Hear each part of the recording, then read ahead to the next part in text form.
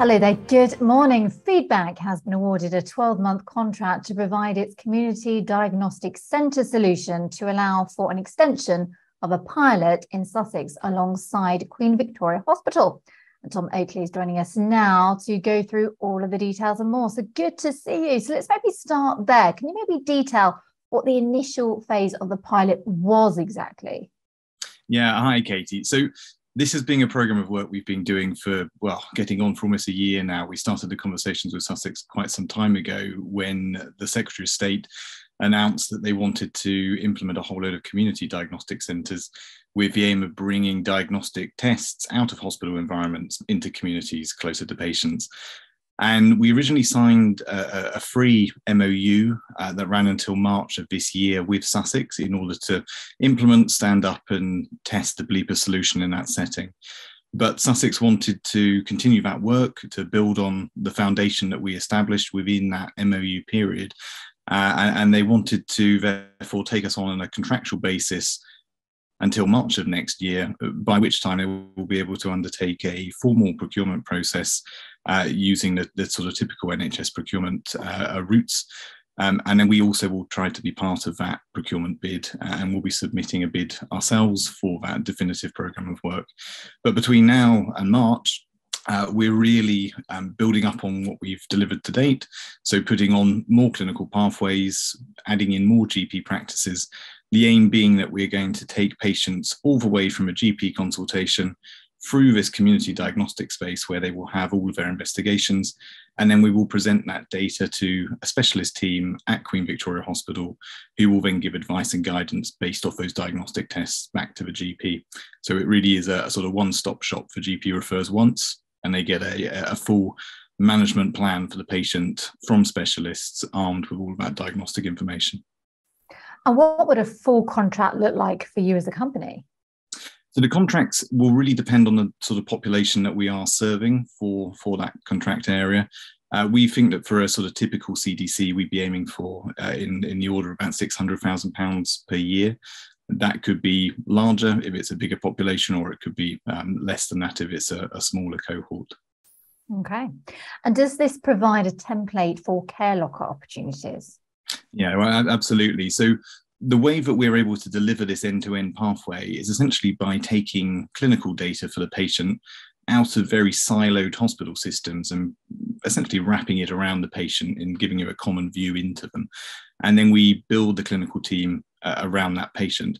Now, that patient centric approach is exactly what CareLocker delivers. So we are using Care Locker as a way of bringing this patient data together in one place, and then we are presenting that view to specialists at QVH and the GP uh, so they can have one end to end conversation. So, this is an opportunity both for Bleepa from the sort of communication side, but also Care Locker from the sort of data management and centralization side. Can you remind us how Care Locker works? So uh, essentially is a is an architecture. It's a way of storing and processing data around an individual patient. So in a typical cloud environment, you would put uh, all the patient's data uh, for a hospital or a region into one cloud location.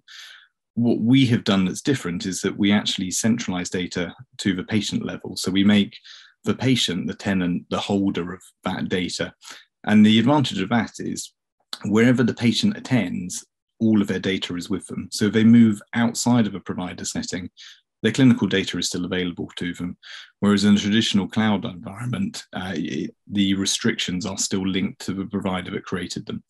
And that ability to move a patient between care settings is exactly how we can deliver this pathway going from primary care all the way through to secondary care. So it's absolutely essential.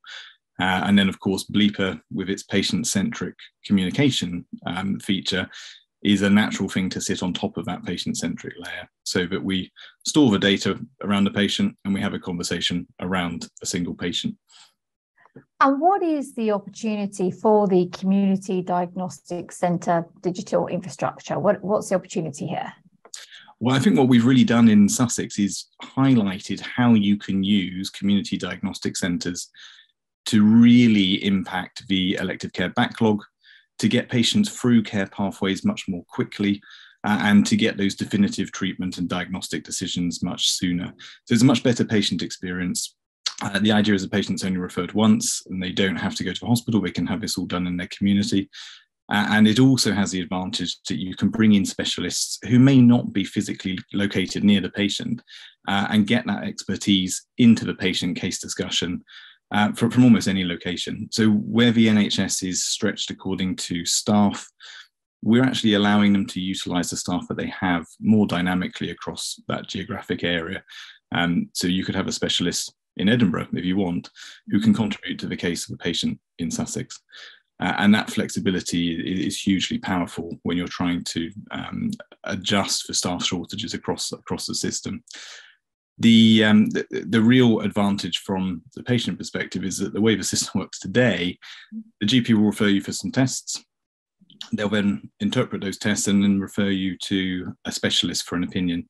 And that may not be the right specialist. So, for example, the breathlessness pathway that we run, you might get referred to a respiratory consultant, but it might be a cardiac problem.